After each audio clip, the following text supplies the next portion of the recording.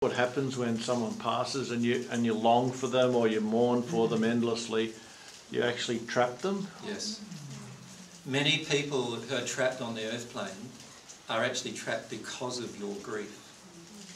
Um, you remember in the movie, uh, um, no, no, um, What Dreams May Come. You remember how you know he was with her while she was feeling these emotions, and then it sort of depicted the, him walking away from her while she was crying. You remember that scene where he, she was at a gravesite screaming about you know the pain she was feeling, and he walked away from her, and that was the last time he saw her on the earth. Quite the opposite of often the case. When a person is grieving for you emotionally in on earth, the spirit often wants to stay with the person for as long as they're grieving. But the problem is that it prevents the spirit from actually working out where they are and what they need to do to work through their stuff to progress with themselves. And so um, the grieving emotions, while it's appropriate to feel your grief, directing them at the person creates huge amounts of trouble for the person in the spirit world. Understand that your feelings of grief are because you have yet to release some emotions about your belief system. What are the beliefs? That's the end. That it's the end of life altogether, as soon as we die, or there's no spirit world, or, you know, that I've lo- I won't ever see them again, or I've lost contact with them. And none of those beliefs are true. And the truth is that you need to release all those false beliefs emotionally. And that's what grieving is about, releasing those false beliefs emotionally.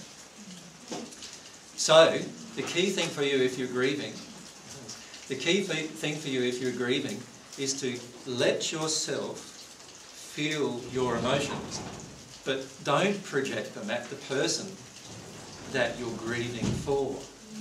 Because when you do that, you're actually keeping them connected with you and not allowing them to actually move forward in their own progression.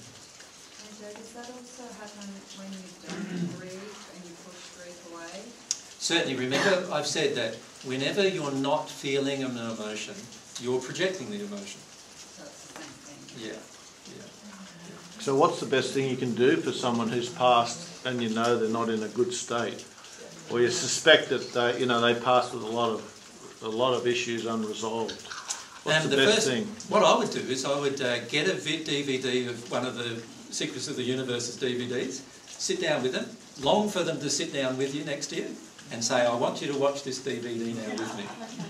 So we could do it with your DVD. Yeah, or you can make one of your own. You can do the diagrams yourself and explain it all.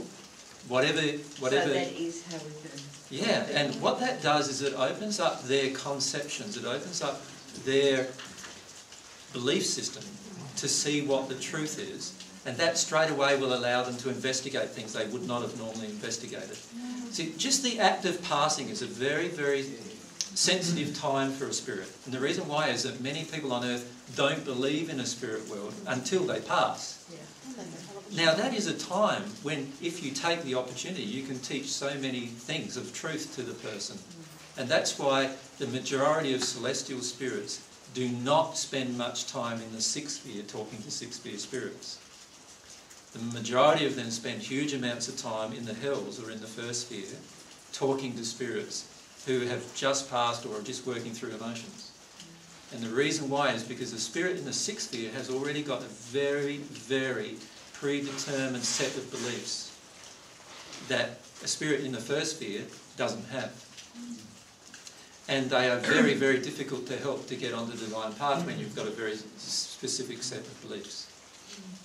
So if you have loved ones that have passed, allow yourself to talk to them. They will hear you when you talk to them. Right? You're not, you don't, don't think you're talking to yourself. They will hear you. You will get feelings in response to them if they're able to give you those feelings. Some of them won't be in a space where they're able to do that, depending on what their life was like morally and what their life was like in terms of their love and all those kind of things will depend on what they'll be able to give you in return. But don't think that they can't hear you, because they can. Now, they have free will too. They might want to say, what a load of rubbish, and Yeah. walk off, and that's okay too. And you may even feel when they do that.